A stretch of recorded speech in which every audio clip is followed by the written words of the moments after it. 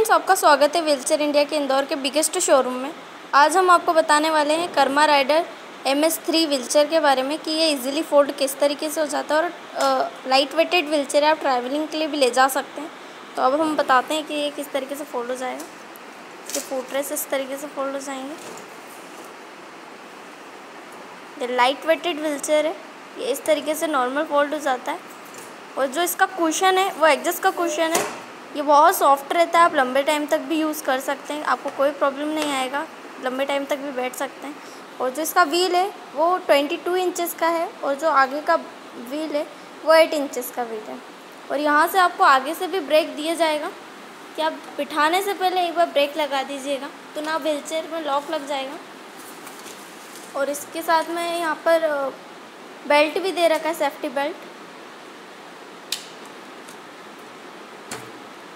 ये लॉक इसके इंच बता देते हैं कि सीट का इंच क्या है. ये सीट की इंच है सेवेंटीन इंच और इसकी लेंथ है फिफ्टीन इंच और ground to seat seventeen inch और व्हील टू व्हील भी हम देख लेते हैं.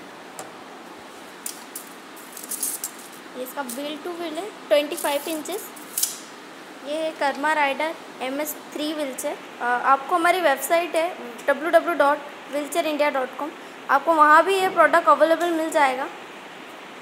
और नीचे दिए गए नंबर पर भी आप कॉल करके कोई भी क्यूरी रहती है तो इस नंबर पर आप कॉल कर सकते हैं। Thank you